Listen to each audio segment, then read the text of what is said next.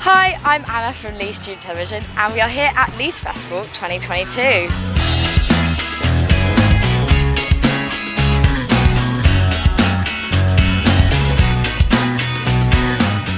Got a whole crew here, so we've got Miss Ellie Back, Head of News, and Miss Daisy Donnelly, Head of Sport. It's already been a really, really exciting weekend, hasn't it? Like, it's only Saturday, but I feel like so much has happened. Well, I think my highlight actually was Piri and Tommy, which was earlier today.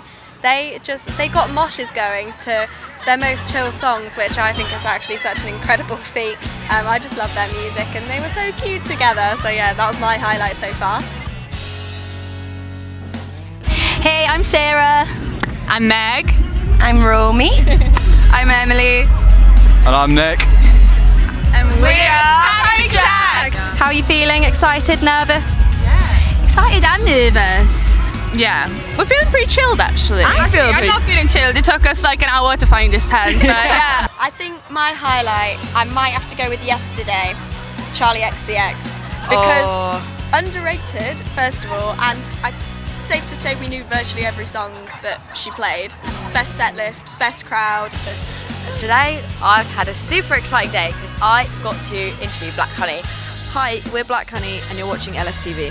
who is a band I'm a really big fan of, actually. So you guys have just done your uh, set on the main stage. How did it go? It was really fun, thank you. Hot. It was warm. we were in direct sunlight. It was great. It was really nice. So yeah, Reading and Leeds means quite a lot to us because we grew up, grew up coming to these festivals. So um, we've seen all our favourite bands on that main stage. So to do it ourselves was like mind blowing, like utter bucket list. We have to say as well, um, little interview with Melvin, the guy who is the head of Festival Republic. Guys, welcome to Leeds Festival 2022. Melvin Benn joins us now. How are you, Melvin? So the head of loads of UK-wide festivals.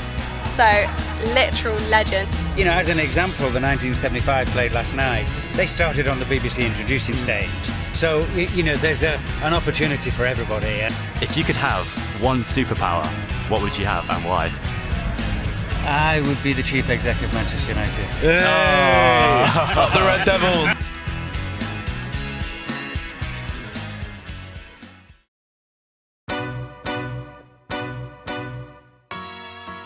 Hi, uh, we are here at the final day of Leeds Festival 2022. Daisy's dressed as a cow, I'm dressed to match the wall, and Ellie has got trousers on. Yeah, like our tent. Hi, I'm Dylan, and you're watching Leeds Student Television. We've just caught a bit of your set at the Radio 1 dance stage. How do you think it went? I was shocked actually at how well it went. This is my first year of doing festivals, and I didn't think anyone was going to turn up, and they did.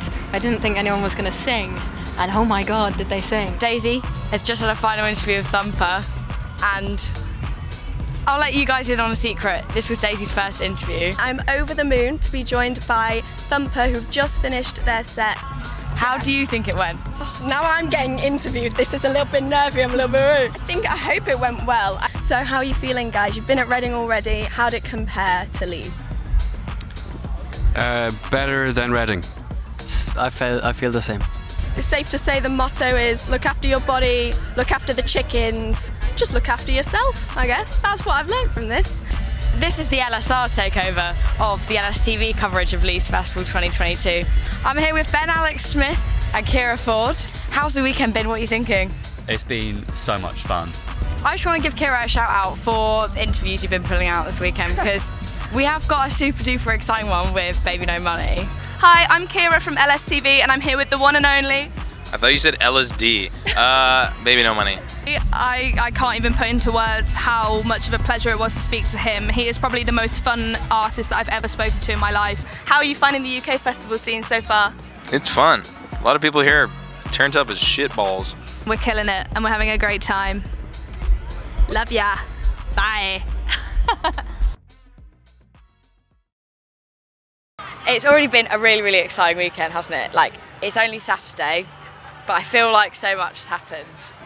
Oh, 100%. We've seen so many great people. Oh, whoa, whoa, Incredible. whoa, whoa. It was a performance that, you know, really moved me. Caught in a bad romance. I felt privileged to be there.